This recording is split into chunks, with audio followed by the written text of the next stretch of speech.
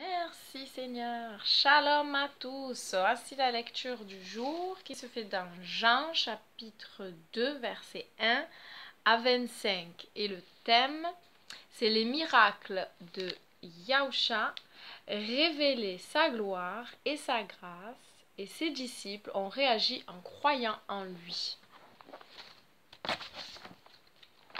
Donc de 1 à 25. Deux jours après, il y eut un mariage à Cana dans la Galile, et la mère de Yahusha était là. Yahusha aussi avait été invité, ainsi que ses talmidim. Le vin étant venu à manquer, la mère de Yahusha lui dit Ils n'ont plus de vin. Yahusha répondit Mère, sommes-nous concernés, moi ou toi Mon heure n'est pas encore venue. Sa mère dit alors au serviteur Faites tout ce qu'il vous dira. Or, il y avait là six jarres de pierre, chacune d'une capacité de 80 à 120 litres d'eau qui servaient au rite juif des ablutions. Yahusha leur dit Remplissez d'eau les jarres. Et ils les remplirent jusqu'au bord. Il dit Puisez maintenant et portez-en à l'organisateur du banquet. Et ils lui emportèrent. L'organisateur du banquet goûta l'eau elle avait été changée en vin. Il ne savait pas d'où il venait, mais les serviteurs qui avaient puisé l'eau le savaient. Alors il appela le marié et lui dit Tout homme sert d'abord le bon vin, et quand les invités ont bien bu, c'est le moins bon qui est servi. Mais toi, tu as gardé le bon vin jusqu'à maintenant. Voilà comment Yahusha fit le premier des signes miraculeux. C'était à Cana, dans la Galile. Il manifesta sa gloire et ses Talmidim mirent leur confiance en lui. Après cela, sa mère, ses frères et ses Talmidim descendirent à Capharnaüm et y séjournèrent quelques jours.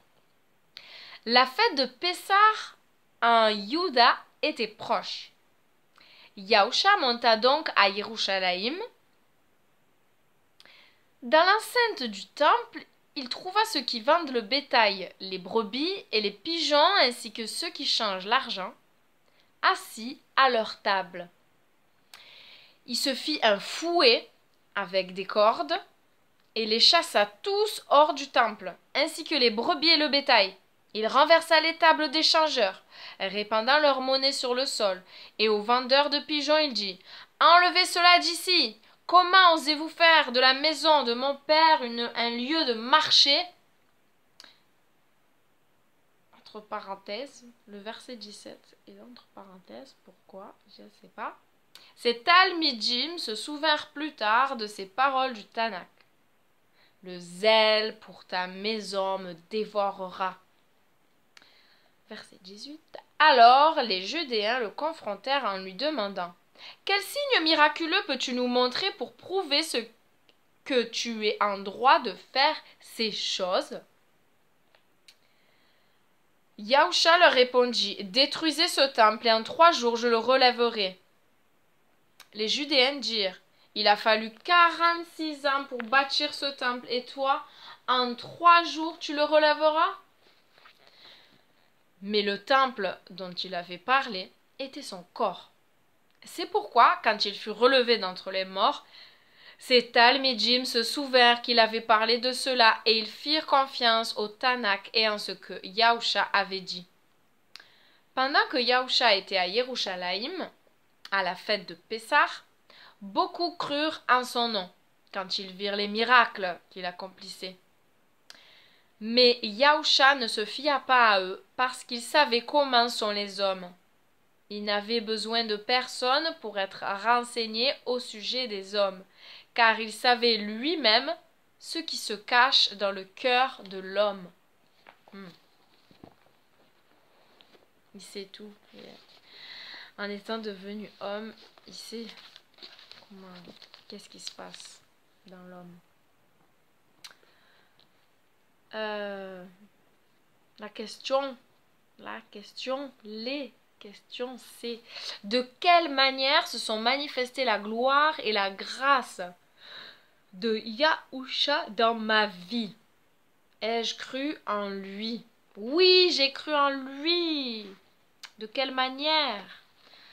De quelle manière se sont manifestées la gloire et la grâce? La grâce, la grâce est manifestée de ce que j'ai senti sa paix, de ce que j'ai reçu son pardon. Il n'y a pas de plus grande grâce que son pardon. Et, sa gloire, eh ben, c'est qu'il change le mal en bien, des événements terribles. Euh, pour mon témoignage, hein, la mort de mon frère. C'est terrible la mort, mais m'a fait me rapprocher de lui, du royaume, du royaume des cieux. Et voilà, je sais en qui j'ai cru, je sais vers où je vais, où je marche. Et sa gloire, ben, encore, euh, elle, est, elle est encore révélée petit à petit euh, en le connaissant, chaque jour un peu mieux. Sa gloire, sa gloire pour moi, quand je regarde dehors, c'est vrai que ah, j'ai toujours aimé les beaux paysages et tout, mais je vois je vois le créateur maintenant. Je vois la gloire du créateur, alors qu'avant je voyais la nature, je voyais, là, de la petite fourmi euh, au gros éléphant, je vois la gloire de Dieu. Le ciel étoilé, je vois la gloire de Dieu. Dans tout le bon aussi des gens, les gens qui sont amour, je vois la gloire de Dieu, alors qu'avant je disais c'est une bonne personne, c'est quelqu'un de bien. Non, c'est Dieu. c'est là, c'est sa gloire aussi. Sa gloire. Et là, dans ce qu'on a lu, ben, il y a les miracles, sa gloire, parce qu'à lui tout est possible. Et il nous a montré que sa parole était vraie. Elle est glorieuse et elle est vraie. Parce que tout ce qui s'est dit, ça s'est accompli. C'est une gloire aussi. Merci Seigneur pour ta personne glorieuse. Il y a plus 10 secondes, donc je commencer ma prière, mais pas la finir avec vous. Euh, je vous embrasse tous. Que le Seigneur vous bénisse.